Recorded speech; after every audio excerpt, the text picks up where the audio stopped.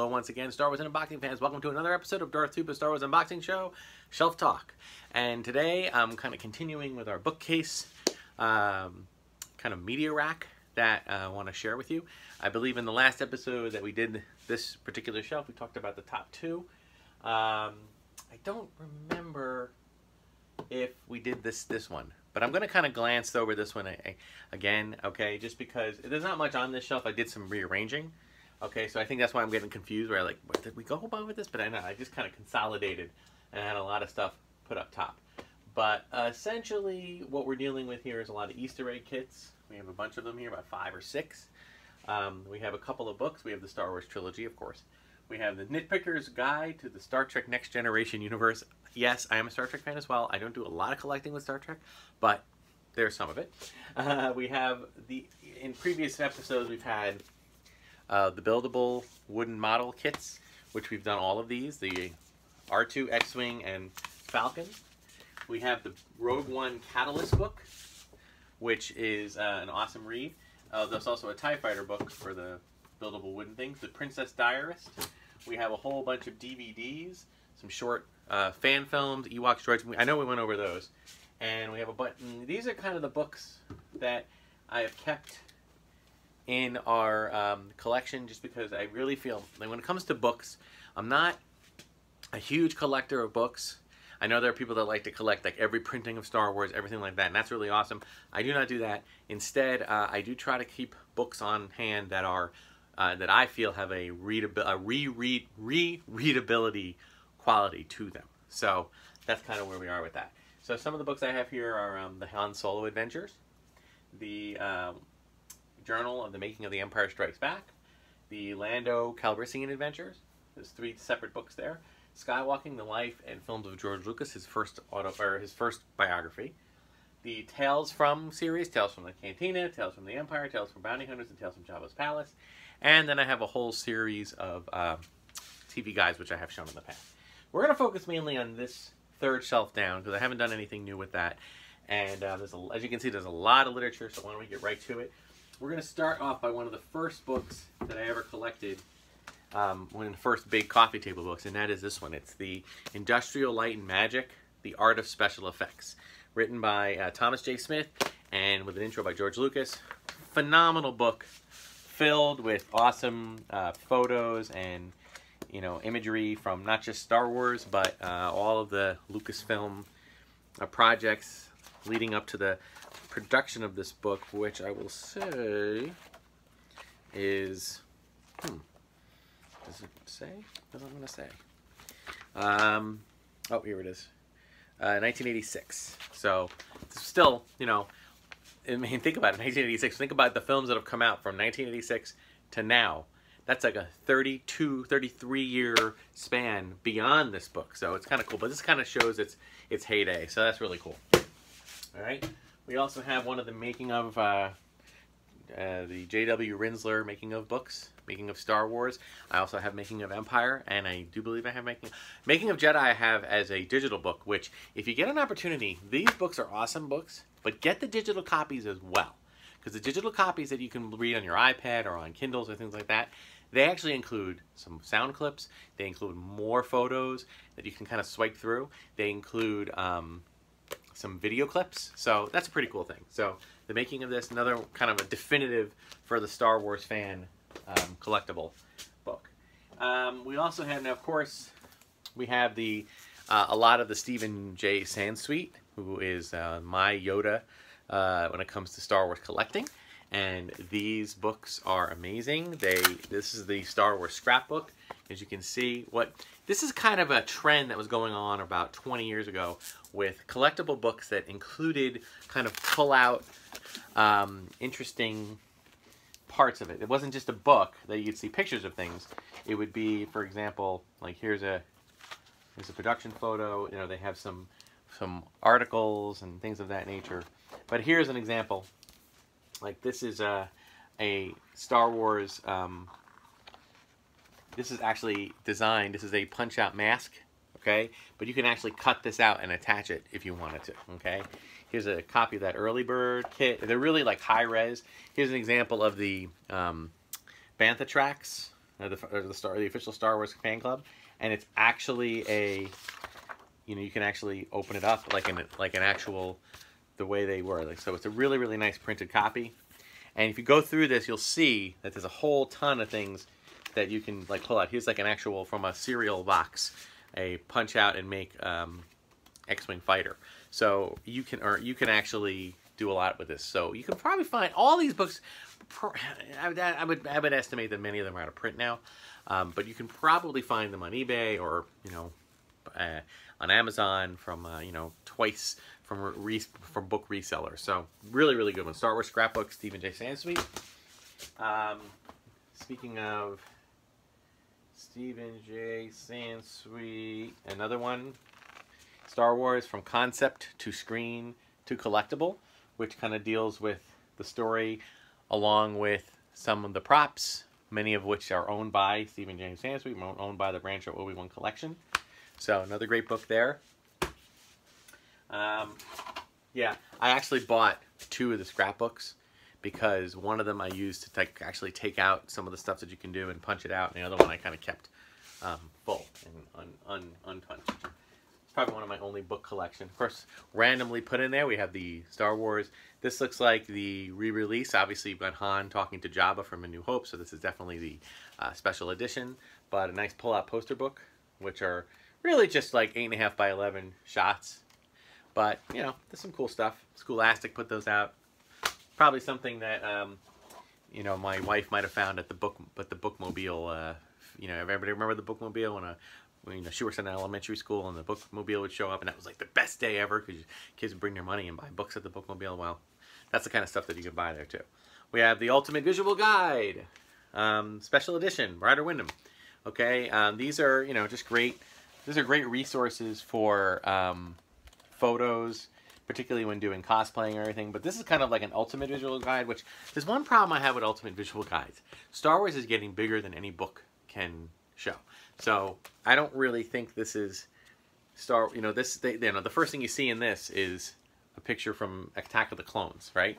So there's a lot of different things. So these ultimate visual guides, I mean, they're all they all have really cool photos. They're great for photo reference. That's a great thing. A lot of cosplayers use them. Um, there's another one. Oh, was that the same one? Oh yeah, here's the Ultimate Visual Guide, and here's the Ultimate Visual Guide Special Edition. So, you know, again, these are some books that I have collected over the years. Some of them have been gifted to me, so I don't always keep track of it. That's one of the reasons why I have this. All right, the trifecta. We've got they're out of, they're out of order, but that's all right. The complete the art of Star Wars, the art of Return of the Jedi, which is essentially um, art by Ralph McQuarrie along with maybe Joe Johnston, and uh, some imagery. Great. Unfortunately, these books, the binding on them are going, so you have to be careful if you do get these books used. The binding does tend to fade after a while. The Art of Star Wars, including the complete script. And again, pretty much all this art is Ralph McQuarrie. Some great McQuarrie art. And The Art of the Empire Strikes Back. Again, does this have the script?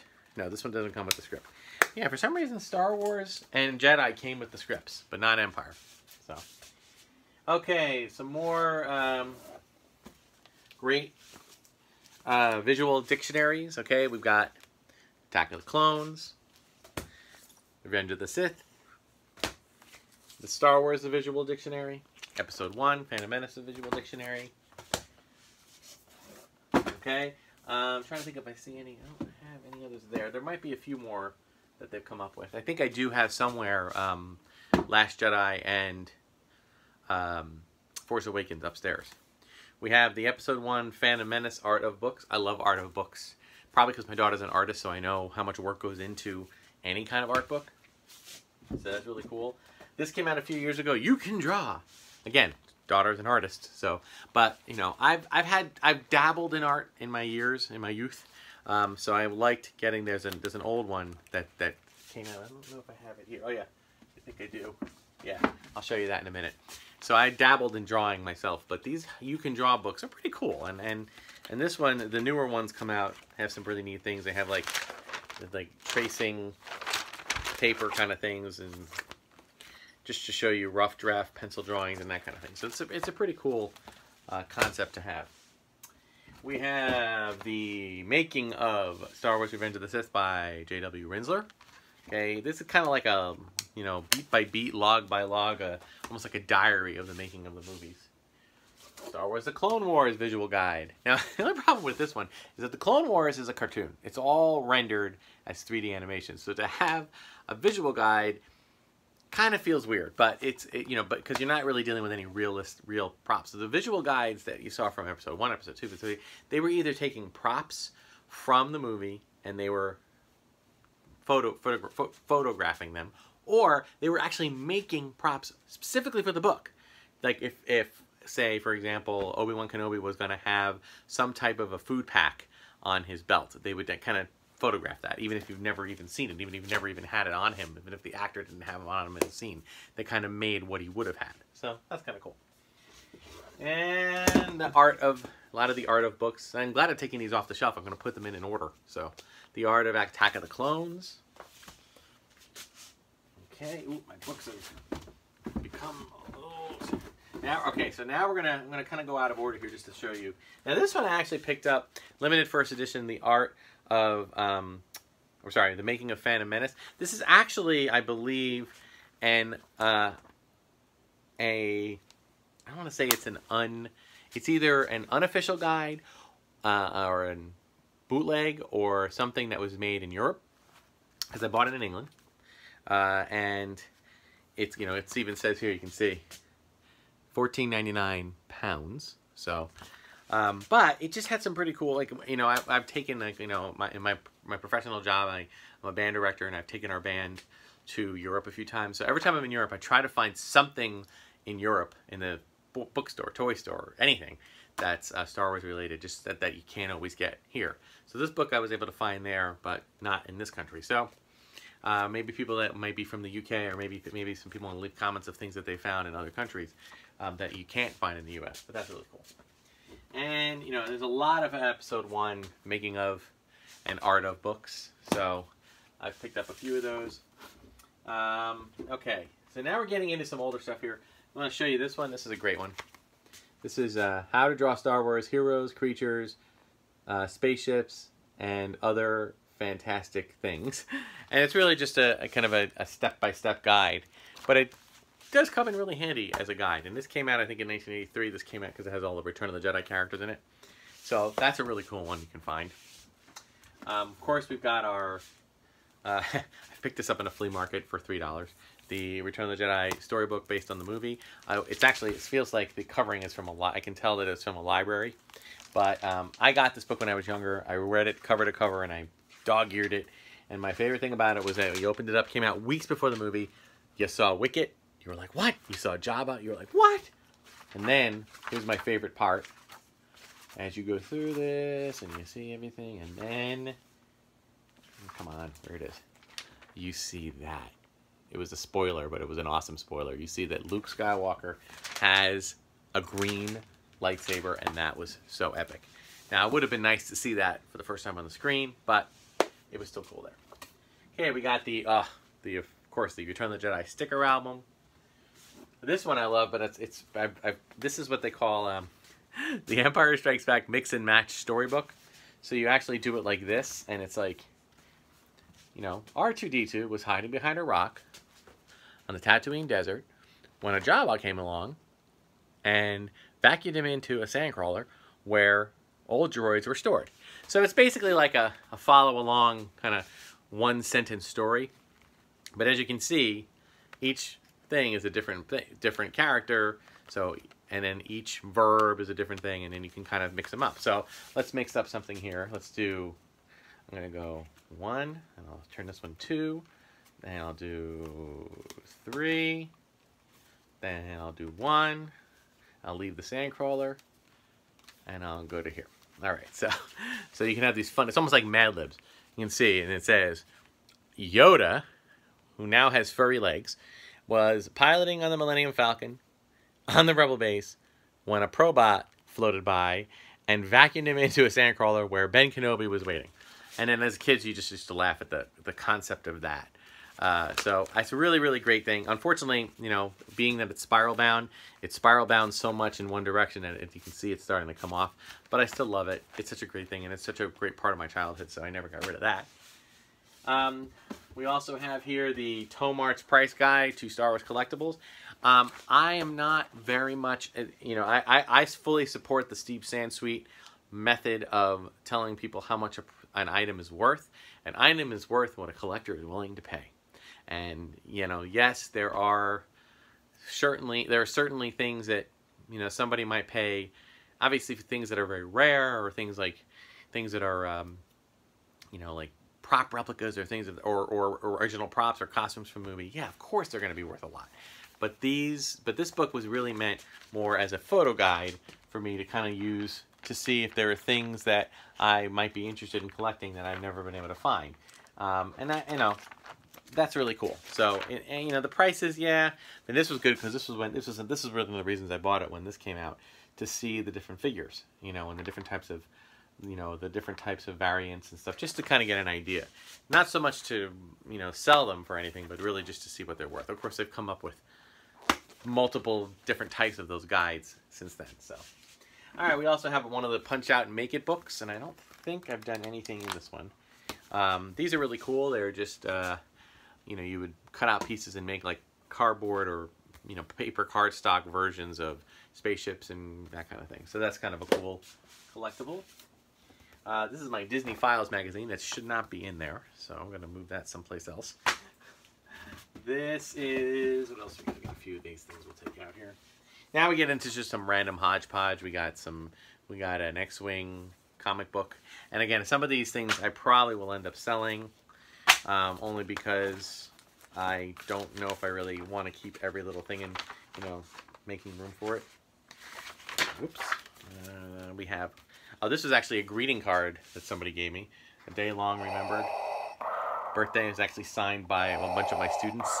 So I love like those kind of a, those kind of things. Anything that I can get from uh, you know from my students or from family members that means a lot more to me because it's a more personalized. This is the Star Wars. I think it's like a general program that went out to uh, movies, just kind of giving everybody an understanding of what the characters are and everything. So really cool piece there. All right, and now we get into just some, some random Star Wars uh, Insider magazines. I will tell you the Star Wars Insider magazine, it's a preview magazine. Um, I do collect a lot of magazine pieces. Oops, and they're all falling. Here's Yoda's activity book. Here's a Rogue One kind of making of book. Here's a Star Wars stamp album and Star Trek Countdown. Oh my goodness. Star Wars stamp album, just kind of a way to collect stamps, but kind of cool. And this came out in this, you know, this was a rarity that came out in the 70s. Uh, right here. What is this? A Guide to the Galaxy. Oh, this is a, okay. This was uh, from Rancho Obi-Wan. I'm not exactly sure what that is, but I think this came with part of a collect, uh, collector pack that I purchased there. And yeah, these are all like different Star Wars Insider magazines, Celebration magazines, okay? I I will say, in all honesty, I am not a huge, um, I'm not someone who will reread old magazines. Um, so often the times I will actually put all these on a on eBay as as a you know because I know there are a lot of magazine collectors out there so the Star Wars Insider magazine is not something that I'm like, you know, glued to having. So, and of course we have this box here, which is partially full. But on top of the box, we have people ask me if I collect all things Star Wars, and I tell them, no, I don't. But I do kind of come across some things that I keep, like, you know, here's a, uh, here's a uh, pop secret with Yoda on it, which I'm actually think I'm going to get rid of because I don't think it's that great. Uh, we have um, Honey Maid. You know, I do I do break, break up boxes and fold them up just because they they they store better yet better that way. We've got a uh, C-3PO Campbell soup can. These are pretty recent. You know, we've got some Cheerios box. I know that there are some that are really into cereal collected. There's a Star Wars cereal. Uh, gotta be honest, I'm not a fan of the cereal. It was very, very, very, very sugary. Um, that's some more Honey Maid. Um, got some some Honey Nut Cheerios, Lucky Charms. Here's one with more recent with Solo. So yeah, I have a bunch of uh, cereal boxes that I do collect. Um, you know, I, I, don't know what I'm to do with them. I mean, I may display them. I may just decide to put them in a big book um, and just kind of have them there, you know. Um, in terms of my little box here, oh boy. Okay, this is a. Oh, this is gonna take some time, but I'm just gonna just highlight some things. Most of these are Star Wars Insider magazines. Okay, uh, and and again, I'm not like. I'm I'm probably gonna end up like selling them all in bulk because um, I'm probably never gonna read them again. Uh, they're not they don't have a rereadable act, you know feeling. In fact, it's funny like magazine print articles are kind of you know they're losing their luster. I think. I think online, you know, like even when I get new, I mean, but nothing against the Star Wars Insider magazine. It's a great publication. It has some awesome things in it, but when I first bought into it, and I was first getting back when it was a Lucasfilm Fan Club magazine, that's when I first started buying into them. The thing was that back then there was no internet. Okay, so this was your monthly or every other month information that you would get. Now everything that they post is kind of already out like everything that they post is already like a like two weeks to a month late. So it's kind of a challenge to do that. But there are some other highlights here that I'll share. We've got the uh, Star Wars a Star Wars um, special edition storybook. We've got the original Star Wars storybook. So this is like one of the first things to come out. That's really cool. The Star Wars pop-up book. I'm a big fan of pop-up books. Um, I kept a lot of these just for the posterity of it. The Darth Vader's activity book can't imagine Darth Vader having activities. Um, the Star Wars Trilogy Special Edition. Um, I guess the art of, so it's just like extra art from just the special edition stuff. Here's a Star Wars Iron-On transfer, so you can actually put iron-on transfer. Speaking of iron-on transfer, this I want to comment on this shirt. Um, this is actually a shirt that obviously looks like the Yavin medal. It's from Star Wars Action News, which if you're not listening to them, they are an awesome uh, podcast mainly. Although I do think they have a YouTube channel. I don't listen to their, I don't watch their YouTube channel as much, and I don't listen to them as much as I used to. But um, they are a great channel and a great source for primarily Star Wars collecting. They are, you know, for everything I am, multiply it by a hundred, and that's kind of where they are. They buy, or at least they have. Maybe they might have scaled back a little bit since the Disney acquisition, but they buy a lot of different, you know, Star Wars uh, related items, and they buy them in bulk, and they buy multiple versions of them. So other ones, we got the Empire Strikes Back storybook. We got the Empire Strikes Back uh, pop-up book. Some um, Super Marvel magazine, Star Wars Empire Strikes Back. Return of the Jedi special edition storybook. We got the Return of the Jedi sketchbook. This is an awesome one. Actually, I had to buy this one twice because I bought it once in it when I was a kid and it got damaged and I couldn't open it anymore. It got water damaged the Return of the Jedi Marvel comic books, another one, and a Heroes and Villains, Creatures and Droids book. You know, back then, pre-internet, we were starving for anything we could find that was um, that you know related.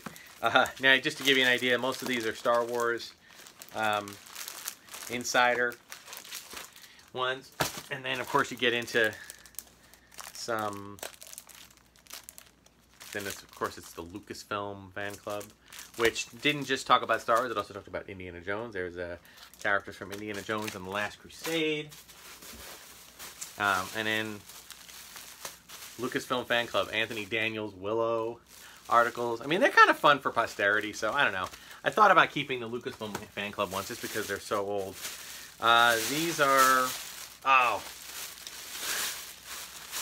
Premiere, Star Wars, Episode 1 Multiple Covers. yes, I will not lie. I got roped into the multiple covers of the same articles just to have all the different covers. I don't know why I did that, but I did that. Um, there was a Star Wars Kids magazine. Hey, look who there it is. Everybody's favorite, Jar Jar. Anybody watch this channel? Know that I'm not a I'm not a hater on Jar Jar. I just find it interesting how people have hated on Star Wars or hated on Jar Jar. But the, yeah, the, the kids magazine is kind of nice. Um, the Mad Star Wars Spectacular, which um, they actually came up. I don't know if I have it here, but they actually came up with an entire Mad magazine tribute to all the comics that they did on Star Wars. Um, here's a couple of vintage official poster monthlies. Um, Entertainment Earth, uh, multiple ones. This is a Smithsonian article that I don't know why it's in a plastic bag because it's only partially there. How many remember, anybody my age, remember Dynamite? Dynamite magazine. Hey, crazy. So some interesting stuff here. You know, that's why I, I, I, did already do an unload of a lot of articles, a lot of magazines related to Star Wars. I didn't unload all of them because some of them I do think are kind of nostalgic. Here's the Star Wars Technical Journal. Two of them, three of them. Here's the Best of Star Wars, Star Wars Kids again. And we're running down to the bottom here. And the Star Wars Compendium, Compendium special issue packed with in-depth articles. And we have this, the newspaper of science fiction and fantasy, which is all about Star Wars. I don't know exactly where that came from. There's another newspaper that had all about episode one. It's like a whole cover page. Oh, this was the Return of the Jedi. Okay, this was, and best for last here. We got the Return of the Jedi press kit. Okay, this included photos with 16 stills. It included all this information about everything. And this is what they would send out to press junkets for all the information. And they would use that to help promote the film. And of course, you can't have that without having one from Star Wars press kit. Okay, so these are pretty valuable and uh, pretty cool stuff. Not something that you see all the time.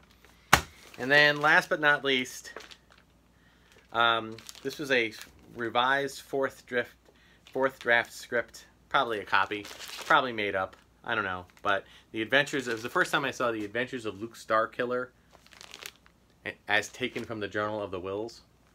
So, um, you know, it's a script, but it was like a, a predated script. And again, I don't even know if this was totally fan made. I have no idea. I mean, I probably could do some research and read up on the the J.W. Rinzler Making of Star Wars book, which had a lot of scripts from the first couple of drafts, and see if these line up. But in any case, it's okay. I don't really mind.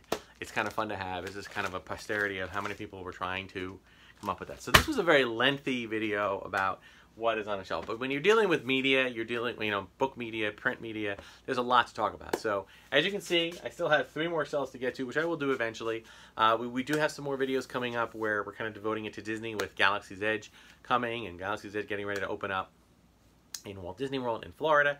So uh, in honor of that, we're just going to kind of revisit some of the things that you saw in uh, Disney when it comes to uh, pre-Galaxy's Edge in terms of what kind of products that they've had available. We already did kind of a walkthrough of the the current state of it bef right before the land opens up to the public. So now we're going to just kind of talk through and review a few. We've had some unboxings of some Disney Star Wars mashed up characters, and we're going to do some more of those. So thank you so much for watching. Like, subscribe, share, hit the notification button, hit the bell icon, all that kind of stuff. Check me out on Instagram and Twitter at Darth Tuba, Darth Tuba Star Wars Unboxing page on Facebook. And leave comments or email me DarthTuba77 if you have, any, or at gmail.com if you have any questions. All right, thank you so much for watching. Until next time, may the Force be with you.